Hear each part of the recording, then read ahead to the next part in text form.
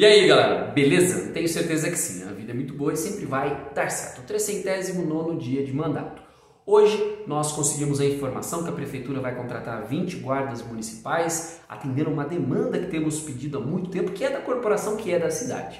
Também nós tivemos a informação da aquisição de pistolas .40, que é uma demanda nossa desde o início do mandato, inclusive nós fizemos requerimento no início da nossa gestão aqui como vereador para que isso acontecesse. E também hoje nós conseguimos que o deputado Alex de Madureira desse uma viatura para a Guarda Civil Municipal por meio da indicação de emenda. Estivemos com ele e ele fez essa indicação. E também hoje, junto dos vereadores Joel, que é o presidente da Câmara, Carlos Fontes, Jesus e também Careca, nós levamos em mãos ao presidente do parlamento um pedido para que interceda junto ao Estado para que seja consertada a ponte sobre a SP 304. 309 dia de mandato.